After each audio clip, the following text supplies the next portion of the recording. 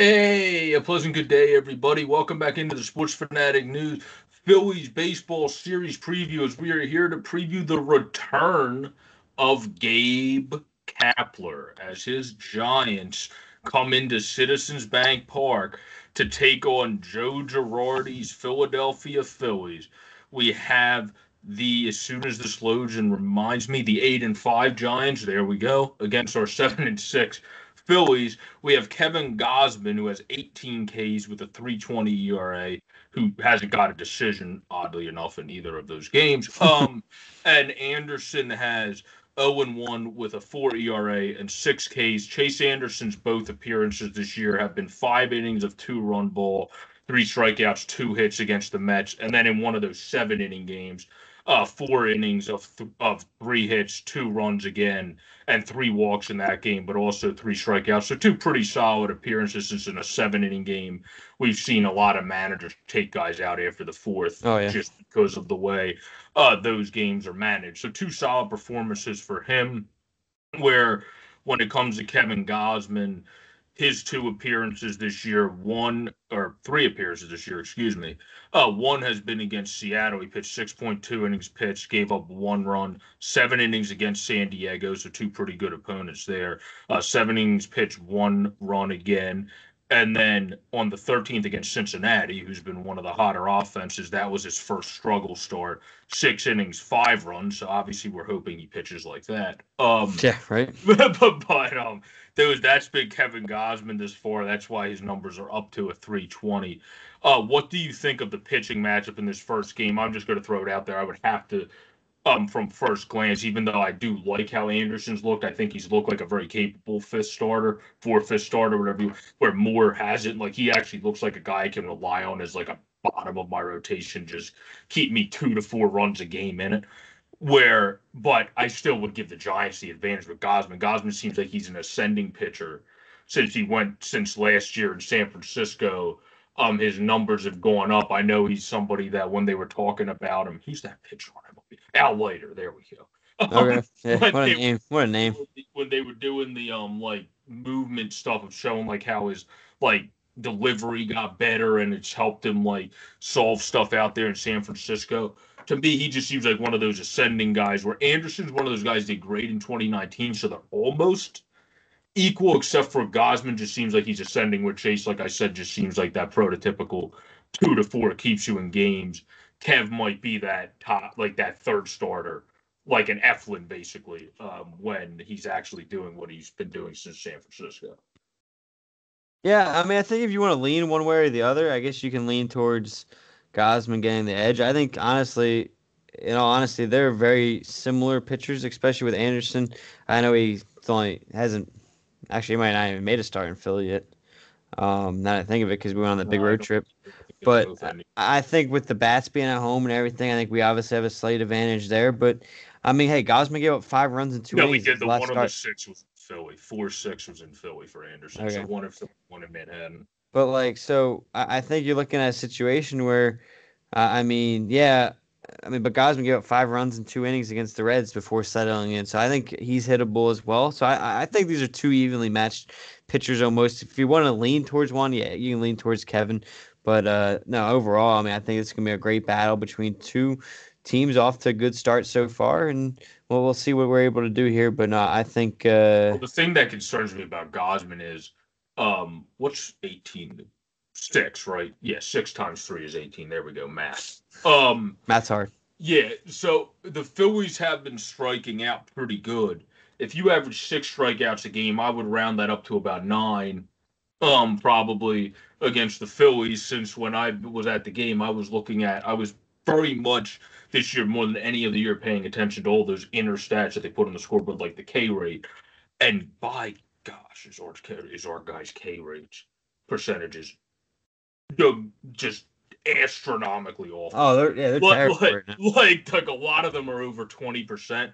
So that's the reason why I favor Gausman in this just because of how he can strike guys out. Where Moore is more of a pitch to contact guy. Where I feel like most of the Giants hitters at this point of their career, except for Evan Longoria and Buster Posey, who are both getting off the hot starts, are more purely contact driven. Like, yeah, that's, that's fair. So I feel like that's the other reason I favor him a little bit more there. No, I don't disagree. I think you bring up a good point there, and, and we'll see the way it's way it's able to play out. So no, I hear what you're saying, but I think uh, again, but that to me tells me it's pretty close when you're pulling those pulling that pulling that out. I mean, I just think I mean, I'm sure we don't haven't looked at the Giants, but I'm sure their strikeout numbers are probably decent. And I know this is talk about the starting pitching matchups, but the way I don't know if you watched any of those Marlins games, but uh, the way the Marlins played them seemed like this team is uh, a be a fun matchup, and Giants got a beatable bullpen is what uh, it looks like to me. No, that that's definitely exactly that that's that's I, I agree with you. That's where you got to hit them. They do from paying attention and watching condensed games on MLB TV and what have you.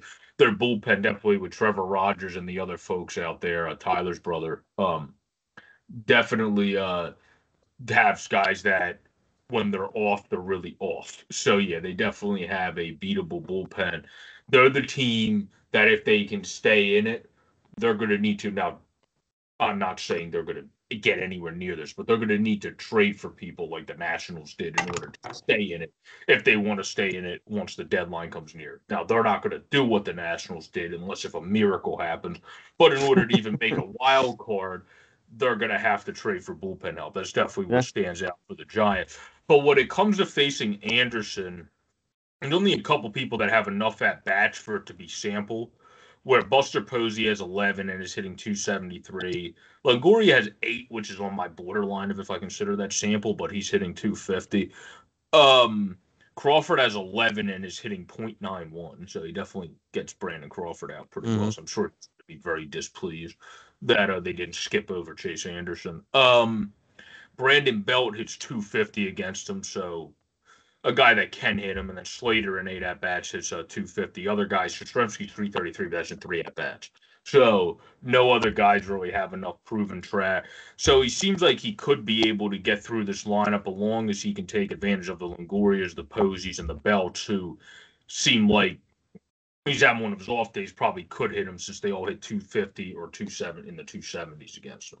What about the former Philly and 500 against him? Yeah, that's in two at bats. I'm just kidding. yeah. So I think that, that didn't have a big enough sample size. Where when it comes to Gausman, Didi Gregorius is the best sample because he has 29 at bats and is hitting 276 against him, which is pretty solid. Yeah. Um, so you would look for him to do good. And Harper is five for 10 and 10 at bats is hitting 500. So there we go, math. Um, Brad Miller Brad Miller should get the start tomorrow. Look at that, 357 against Kevin Gausman. Put Brad Bamboo Magic Miller in that lineup. You know, Brad Miller plays. wait a minute, wait a minute, wait a minute. Solution. Solution time, ladies and gentlemen. It's not his best position. but Brad Miller, I'm pretty sure in his major league career, has been thrown into center field. I mean, if you want to, why don't you just throw McCutchen for center field? We could move him over, but yeah, if we want to do that, either way, Brad Miller from uh, his 14 at bats hitting 357 with a home and three RBI. I feel like with how much we look at stats nowadays, you almost would want to put him in the lineup. And then um Torreyes in 17 at bats, it's 294 against. Uh, well, you could get Rhys there, but Miller at first. Yeah, you could put you could put Miller at first. You're right. You could give Rhys a day off. That's a good point too. And then Segura hits 500 against them. But, so yeah, so is, I mean, matchups. assuming everyone watching this one uh, has watched our uh, recap of the uh, Phillies and Cardinals at this point when we are talking about Mickey Moniak. Well, maybe Gausman. you get some other guys in this lineup who have hit him before. You get them on base. Maybe this is a good matchup for Moniak to get his uh, get a hit this season and get things started rolling for him this year and snap that over 32 streak that uh, the Phillies center field is on. Yeah. Not just Moniak, yeah. the Phillies center field is on. Yeah, we're not trying to knock the kid that much and have him be like, "Well, what the hell are these guys talking about?" Not... Yeah, I, I, know Mickey Moniak's watching this this uh, this show, so we're pulling for you. Hopefully, get that start against Gausman, and yeah, you get that first hit. And once you do, we can credit the show for uh, getting you on, on board. Yeah, but over Rhys, I would almost just because I feel like Rhys might be able to hit Gausman. just in my opinion, I would almost rest Kutch just because of his struggles. Let Brad. No, I, I, agree that, with you. That, I was just basing off of we were talking numbers against Gausman, so that's why. Yeah. I, Hoskins is only hitting 182 off him.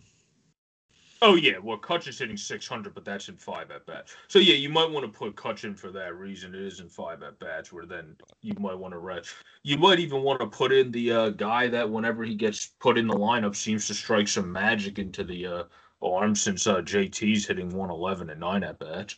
Uh, throw uh, Andrew Knapp in there, you know, more Knapp home one time. hey, I mean, we'll we'll see what happens.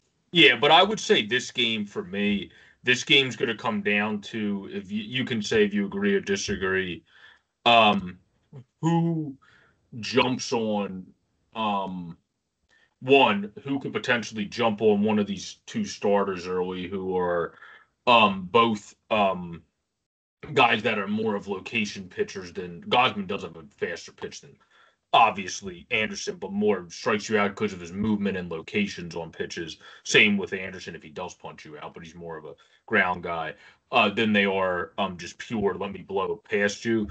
I would say this game is going to be who can jump on whose guy earlier and then who can push to the pen sooner because whenever you're facing guys that you might be able to jump on, especially with some of the numbers we have in our lineup with Didi, Harper, and Jean against him and Miller if you put him in.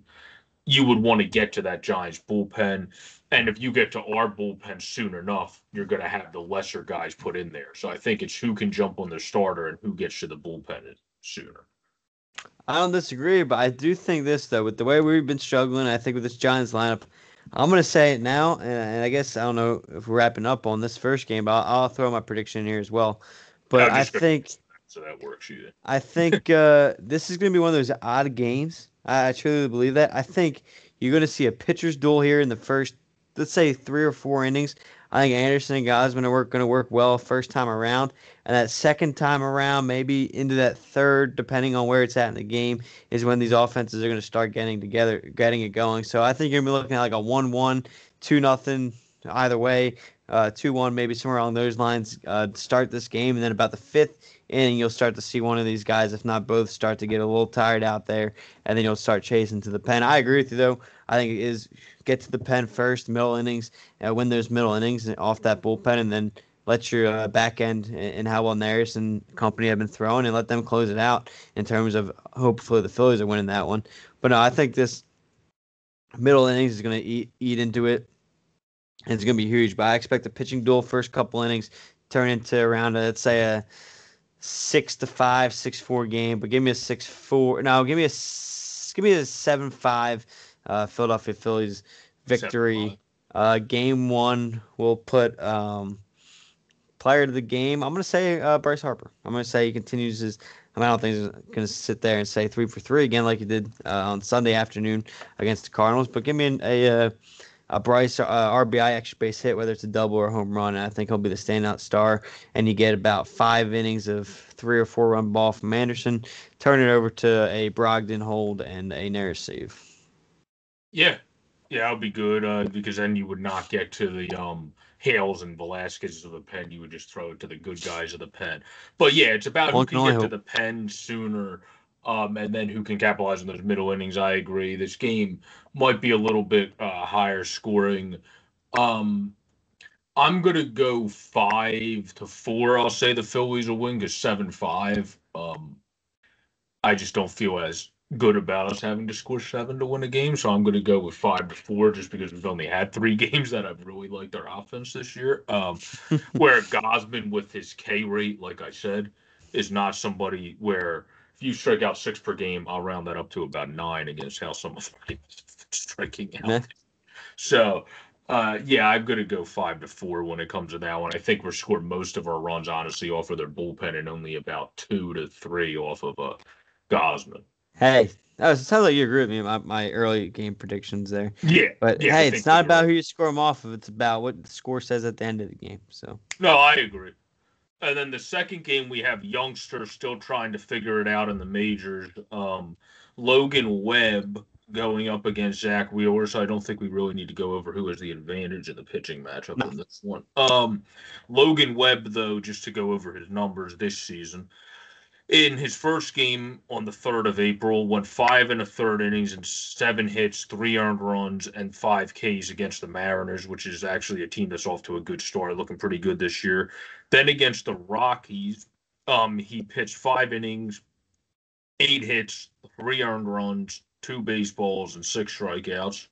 So that's all right, but not that great against a Rockies lineup. Um, yeah. and then you have it looks like he pitched out of the pen against Cincinnati um, on the 14th because he only pitched one inning and had one strikeout in that tilt. So he's looked good in his first start against Seattle, which is actually a pretty good lineup. I would I would say eight hits and five against Colorado is not that great. Um, and then um, especially when it said versus Colorado, so that wasn't in Colorado, that was in San Francisco. So um and then yeah. you have one inning against Cincinnati, which was pretty good. So he's been, I would say, average. I would say would probably be the word to use for his first three outings. That um, brings his ERA, since obviously one great relief outing doesn't bring someone's ERA down. Um, it brings it to a 4.76 to start with 12 strikeouts. So real was one and two uh, because of run support. Um, with a three ERA and 20 strikeouts. And um, he, of course, faced the Atlanta Braves going seven innings and 10 strikeouts in that great start back at the beginning of the season.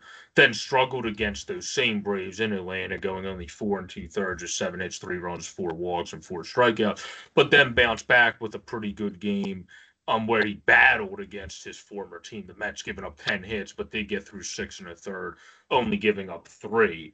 So obviously, we would like to see more of a first game Zack Wheeler in this game, or at least a mix of first and third. Um, but I say we obviously definitely have the advantage in the pitching matchup here. Not without question. Yeah, and the Giants bullpen is not very good. Where this is a game I would be kind of disappointed, honestly if, we, we don't win, yeah, just because the bullpen of the Giants has been very unimpressive this year. And Webb is a guy that normally only gets through, like I read, five innings, five innings. He's not normally going to get deep into a game. So if you let him get deep into a game, you're doing something a little wrong there with at that point of his career yet. No, I hear you. I agree with you completely. I think this is a game. I mean, obviously, I'm not. No one's going to call it a must-win game. I'm not like no one's going to sit there and say that this early. But this is obviously a game you want, especially if obviously we're doing this as a preview, so we don't know what the outcomes are of the games yet.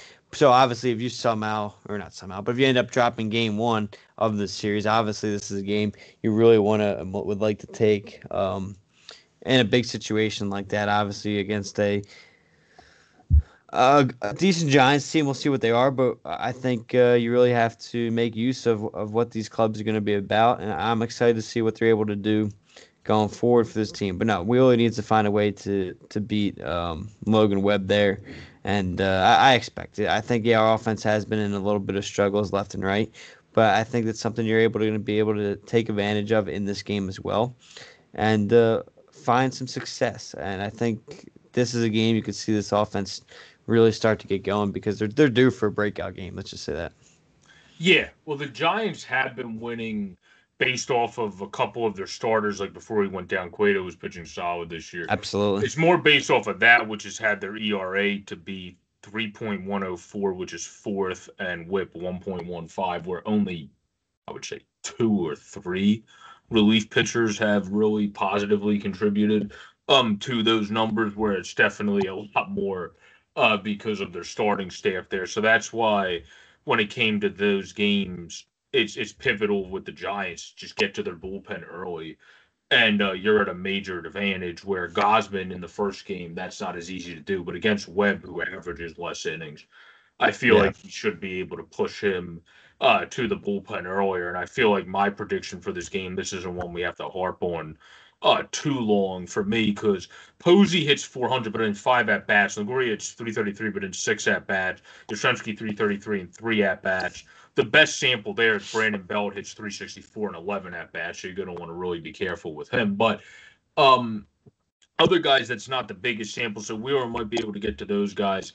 I feel like this is going to be a game that the Phillies offense can do pretty well after scoring how I predicted five to get five four in the first game. I'll go five again, but I think you should only give up with wheels on the mount. I'll go five one in this game. I double up to five. We'll go Pat Burrell back to back. Burrell to one. um, now I think uh, Burrell I- to Robin Roberts. I think uh, this is a game you're going to win your fourth straight series to start the year at home.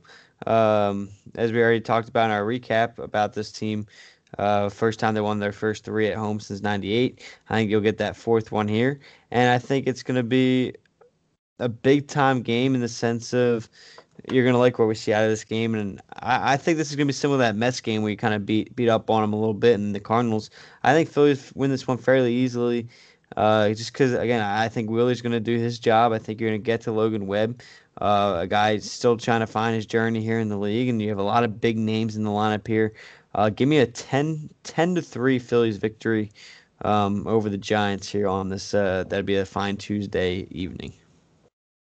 You- went ten to three. Ten to three.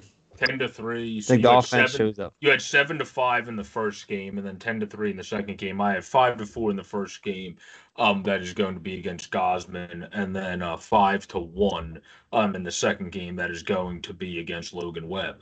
Our third game is going to be against a very interesting pitcher, um, in Anthony DeSclafani, who went from pitching very good um for the Reds in 2019 and then in the COVID affected 2020 season basically doing a Chase Anderson uh, Right. having a very good 19 and then just really struggling mightily in 20 and now to start this year has just been balling and has a 1.06 ERA in three starts Unbelievable. um 16 strikeout.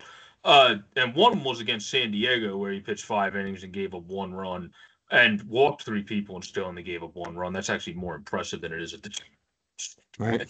um, and had four strikeouts. And then against Colorado, he did. Yes, he gave up six hits, but he gave up no runs and had eight strikeouts. So that's kind of what I'm talking about. Like, that's what I would like to see again. Like, I'd like to see against Colorado, where when you looked at Webb, um, you don't love seeing that Colorado thing as much. So that, that's kind of what I was getting at there. And then against Miami, real quick, just to say what he has six innings, four hits, one earned run. That's what he did against Miami. So I would say two teams that have started off pretty good this year since the Marlins went on that win streak to come back in the standing. And then another team that Colorado is very meh. But he pitched good against two good teams, I would say, to start the season. Yeah, and I was gonna say while we're running through some stats, let me give you this stat. He's three and two with a five point three four ERA in his six career starts against the Phillies. So kind of obviously a, a, a probably. pl- a pl- what is it? Is that back when uh is a couple of them back in the one season he was with the Marlins, I would think. Maybe I, I don't. That doesn't have exactly what team he was on it okay. happened. But no, yeah, he's three and two with a five point three four ERA in his six appearances against the Phillies. So obviously a winning record, but a high ERA there. Some fun numbers. Hoskins hitting five hundred against him in six at bats. Um, that's really the biggest number there. Harper's three seventy five and eight, and McCutchen's three seventy five and eight as well. So we'll see what we're able to do there. But it should be a fun matchup between those two, especially with how well Eflin's been facing or throwing. Yeah, that's true. Uh, Eflin's been throwing really well. DeSclafani in 19 looked like a guy that was going to the right direction. Um, at least to be a good guy that you want through your four or five spot of your rotation, just like Anderson, and then fell off last year. Well, this year he's off to a mega hot start. Um, and then you have Eflin, who's off to a very good start himself. Both guys have 16 strikeouts to start the season, excuse me. And Eflin, just like Wheeler, pitched a great seven innings in his first game against the Braves and had eight strikeouts, one run. And then he struggled, just not struggled, but had an off game because he didn't struggle. He actually battled through six innings and gave up four. Had an off game in the second game against Atlanta. Um, and then came back and gave up only two against St. Louis, of course. Uh, the game that we recapped in the video before the um the Friday evening game uh, to answer back there. So I think this is if both guys are at their best, um, an even pitching matchup. Um, I would say, but um, I I would- would, I would say it still comes down to how the Phillies work the at bats since when the longest DeSclafani went in his outings thus far have been six innings against Colorado and Miami.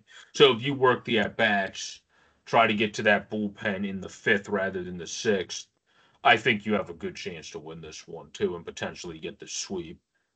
Yeah, I think the way with these, uh, this, uh, the way he's uh, thrown this year, I think yeah, you'd have to probably lean to him. Obviously, 1.06 ERA. I think you take full on like who would I trust more? I'm probably gonna lean Eflin. So like you said, at the best, they're both throwing the best, probably an even matchup. But I, I think overall career career wise and like my expectations expectations, I think I lean towards Eflin. And this this could be a series you go out and sweep the Giants. This could be a great series you go out lose two out of three. In all honesty, it's gonna be a, a nice battle. I think this is a good early non-division test here after a good test with the Cardinals that he passed, and I think it's gonna be a fun, uh, fun three-game series. And obviously, this Wednesday is gonna be a getaway game, one o'clock. I don't, you're the one up in that area, so I don't have the, like the weather forecast in front of me yet, and we all know how fast that can change.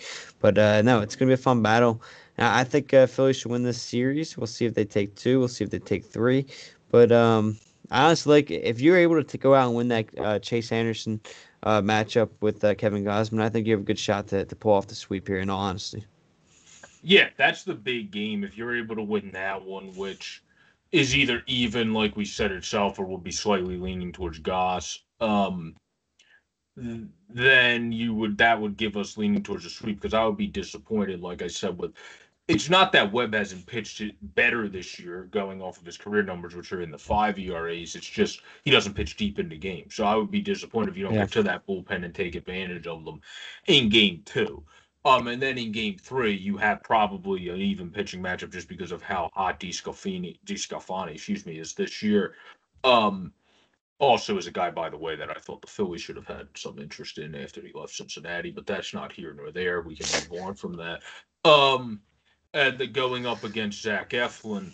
Um, so we'll have to see. But in terms of the weather, um, since you brought it up, we're looking at 67 tomorrow with a 48 at night. Um, Tuesday 73 with 54 at night, so that's pretty good. Um, there are occasional rain showers for the getaway game day game. Um, for Wednesday, according to right now. Well, uh, considerably cloudy, considerable cloudiness. That's a, that's an interesting way to say that. Um, with occasional rain showers is how Weather Channel has it. Shouldn't they just couldn't they just say considerably cloudy? Not considerable cloudiness. I, I don't know weather terms. That's above my pay grade. yeah, yeah. Well, this isn't a weather podcast, so anyway, um, moving moving right. back to, moving back to the Phillies, the getaway day just for your weather update might be the one day you get a little bit of rain, but we had a little bit of rain drizzle. If it's just that type of crap, like Friday, then you'll be fine. Um, that was still a very much enjoyable game. That game I went to last Friday um, with my friend, but I think um, we're both in agreement here. If they can win this first game, chase against Kevin Gausman, then there's a good chance our Phillies should be able to sweep this series because you should be able to take game two. Well, then game three, if we lost, I wouldn't be pissed because DeSclafani's balling yeah. this year. Like I just said, it's just if you can get to the bullpen quick enough, since the, he's balling, but he usually only pitches six innings, even when he's pitching great if you can get to the bullpen again, you should still be able to be the team that can win that game based off of your offense compared to their offense and also how your bullpen is pitching compared to their bullpen. Yeah, no, I agree with you. This could be a fun game. Um, get out to the park. Let's, let's get out there and, and, and show we love being back in the park. And, and I think, uh, I don't know, it's hard to sweep a team. I'm going to say the Phillies end up dropping this game late um, in a battle. I don't know, it's just tough I don't know. I'm tempted to pick the sweep. Last time I picked, I don't know. I, am torn. Okay, I'm gonna go. I'm gonna lean towards a five. Uh, I'm gonna go five three Giants win. They salvage the getaway game. Yeah, I mean, this game will obviously be interesting if you have to go to the bullpens earlier. The Phillies might get helped by rain, um, since we have the better bullpen. It would hurt us maybe in the next series. But for this particular game, um, you could potentially get help by rain um, if it takes him out of the game sooner. Um, but we'll have to see. I agree with you. It's tough to predict sweeps, and I usually consider it a jinx. So just just for, just for the sake of that, um, I'm gonna say that uh, we are gonna lose um the getaway game, but I'm gonna put it at three to two. I think it'll be one of those games that is very uh better pitched, uh, especially usually uh crappy. Now the other day did not speak to that Friday night when it was rainy and a little damp. But normally those are not the best days to score nine runs like they did that day. Okay. Um, Yeah. so I feel like that's the other reason why I'm going to go three to two. The Phillies uh, will lose the last game there, and they'll be able to still take two out of three and win the first four home series to then have their first day off um since the eighth, which is then their last day off until May 10th. So enjoy it. Um, and then they will go on into Colorado to take on the aforementioned Rockies, who we better damn well beat in a series. Um, and we're bet. pre- we'll, we'll preview that for you. Probably sometime it'll come out Thursday night or Friday morning. Um, before that series, which is an 8:40 start time on Friday evening. But we thank you all for joining for the San Francisco Giants versus Phillies series. Another one. Do you have any uh, final closing points, Andrew, or are you all set? I'm pretty much all set. Just go out, win the series. It's all you can do. Obviously, like we said, sweeps are hard. Just go out. You, you got Wheeler and Eflin on the mound. You can win a Chase Anderson start. So just go out, take two or three. Um, you know what? I'm gonna get a little controversial here to end it, whether you want to debate it or not. But you know what? I- I'm expecting a lot of boos for Kapler, but I will always say I'm a Kapler fan. I'm gonna. I, I, don't, I just want to throw that out there. I'm gonna end it in some controversy if it is controversial, but no, I, I'm a Kapler guy. I will. I'm still gonna be a Kapler guy, and I think what he's doing with the Giants is actually kind of uh, pretty cool if, if he's able to keep them afloat for this uh, season. Because I uh, I do want to see him succeed out there. Obviously not against the Phillies, but just. No, no, yeah, not, no, not against us. But we both think they're take two out of three. We thank you all for joining for the Giants versus Philly uh, series preview. Uh, everybody, please like, comment, and subscribe as always, and enjoy the Phillies baseball. Enjoy whatever other baseball games you watch, and as always, stay safe and well out there. Peace out, everybody.